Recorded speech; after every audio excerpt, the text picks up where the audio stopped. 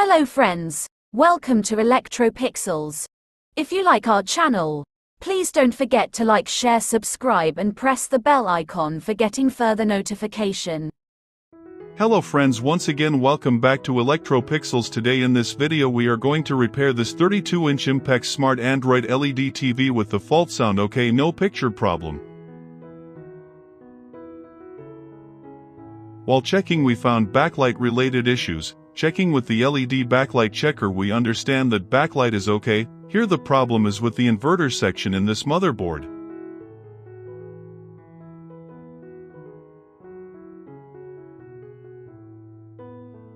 So friends to solve this problem here we installed a alternate separate universal LED backlight driver board in this TV.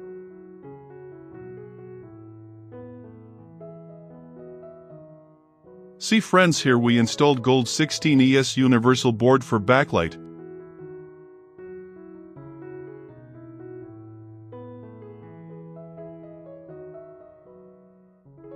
See friends after installing universal backlight board, now picture comes and the TV started working back to normal so that's it hope you like our channel please don't forget to like share subscribe and press the bell icon for getting further notification thank you for watching have a nice day.